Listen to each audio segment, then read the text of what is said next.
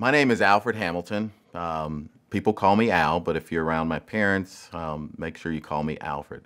I am an assistant professor at the George Washington University, the Milken Institute School of Public Health.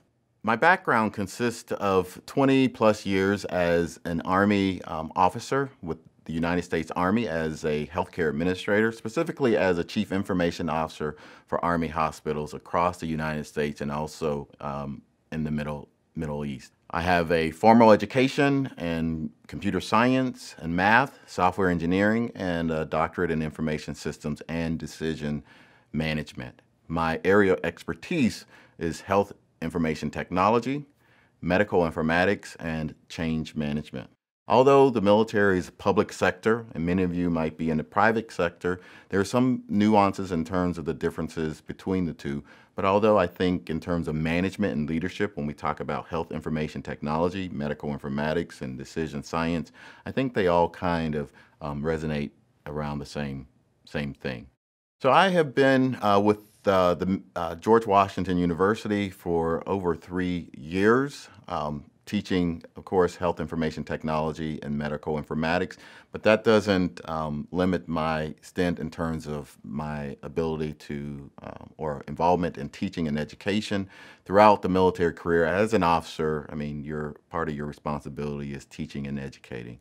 And so one of my tours was um, a professor, an adjunct professor with uh, Baylor University, which uh, is um, the Army's affiliate for our for a graduate program.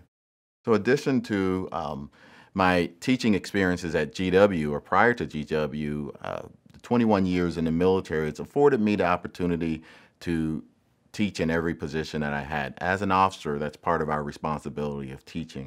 My name is Patricia MacTaggart, and I'm a lead research scientist and lecturer at George Washington University. And I have been there for seven years, um, teaching health information technology policy, not a technician, quality, and state health policy, and how the pieces all fit together. Prior to that, I've been an adjunct professor at GW and at UNC Chapel Hill for many, many years. But what I do when I'm not teaching classes is I work with state and federal government to uh, take the federal policy, again, that Congress does or the agency, and apply it at both a national level and at a state level. And currently, um, I come from the perspective and have a little bit of a bias because I'm a former Medicaid director and I've been in the public programs for 30 years. But I've also been a vendor, I've also been a provider, and I've been government most of my life. But that brings different perspectives. And what I will tell you is at no point in time is there one right answer. It's trying to sort through that to figure out what works politically and practically for the consumer, the provider, and for government. So when I'm not with you uh, and not with my other students, I actually spend my time doing technical assistance to states and talk about diverse states. I'm currently in Wisconsin, Alabama, Pennsylvania, and Oregon.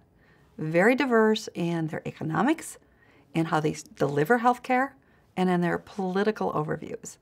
But it's also what makes it really exciting. Hi, I'm Jennifer Ford, and I am one of the co architects of the Module 2 course. I will be covering health, information technology, and strategy, along with product effectiveness and process improvement techniques. My background is a heavy healthcare background, along with um, heavy best practice processes that health, help, help healthcare industries become successful. I've been in a, in a government, a, a, large government healthcare organization for about 15 years now, and I've been doing best practices, process strategy improvements uh, for over 20 years. Over the last 15 years, I've worked in one of the largest healthcare networks uh, in the country. I've also been doing um, measurement and evaluating how successful healthcare IT projects are in such a large healthcare organization, and I want to bring that experience here to you. You individually will be going through slides and presentation on your own. It's critical that you do this because it'll give you the basics and allow you to be engaged in the group discussion and in our on live presentation and discussion. Because at one point we're going to have an expert uh, outside of me present. Um, in another session we'll have multiple experts present. And you want to be able to engage and understand what they're doing. And you need to be prepared in order to do that. Because this is a very exciting time. Um, it is evolving. And one thing that I will tell you is some of the slides will change even as we're doing this because health information technology changes every day. So does healthcare. It's a very evolving, very complex, very um, multifaceted. And as a result of that, there is, again, a continued evolution. That's what makes it exciting. It also makes it difficult. So this isn't easy, but you'll never be bored and you'll find it exciting.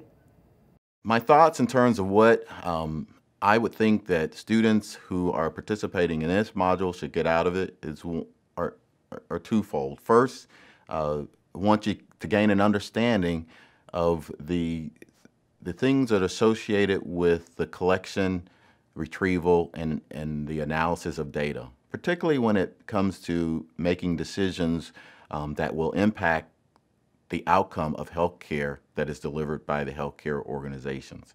And so looking at those technologies that are within your organization and how best to use those technologies within your organization so it would yield better results for the clinical administrative staff in making clinical and administrative decisions. The second thing I would hope that students would get out of this module is the importance of developing a system that meets the needs of the patient because ultimately it's the patients that, that we're there for. And so gaining an understanding of what their needs are, what their challenges are, given the environment that they're placed in or given the environment that they're coming from, that we can begin to develop systems and processes within the healthcare organization that will make healthcare more affordable and more accessible and the processes within the healthcare more efficient. So we, in the end result, we receive better outcomes, which will leave patients more or more satisfied with uh, the care that is provided to them. The best way for students to be successful in this course is to take your readings and, and the videos and, and the the sources provided to you uh, and, and really you know go ahead and, and read those and watch those but in addition identify uh, what you're doing in your healthcare organization to what you're reading and what you're learning and bring them to the student reviews, your student sessions, and into the live sessions with me so that we can discuss them and I can share my experiences with you as well so that we can get a practical approach to healthcare uh, IT strategy and management. Now, Many of you may or may not be very familiar with technology. I mean, I myself, I have a bachelor's in computer science, a master's in software engineering, and a PhD in information systems. And you're probably saying, well, gee, this guy is, is very smart in computer and IT. We're not expecting that of you as a student. But what we are expecting of you is to be creative in terms of coming up with potential solutions, be innovative. We want you to think outside the box. There are no right answers, there are no wrong answers, but there are answers that can help minimize safety issues that might be imposed upon our patients. Again, our patients are most important. So take the opportunity to engage in discussions with your colleagues in your group, group sessions, engage in discussions with your um, professors or instructors, because we want you to be innovative, we want you to be creative.